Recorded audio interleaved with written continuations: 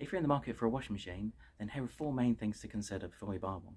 Load size. Go for a decent load, at least an 8 or 9 kilogram, especially if you've got a large family. What you will find is when you put the clothes in, if this if the clothes have got space to move around during the wash, then the performance of the wash will always be much better. Spin speed. Go for a decent spin, at least a 1400. Uh, if it can try and extract as much water out, then the clothes will be much drier towards the end of the wash. Energy efficiency.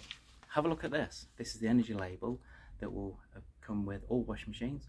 Try and go for energy efficient as possible, ideally an A rating nowadays. Also, have a look at the programs that are on the machine. Don't just assume they all have certain programs. So before you buy it, have a look to make sure that you've got things like quick washes, also energy efficient washes as well.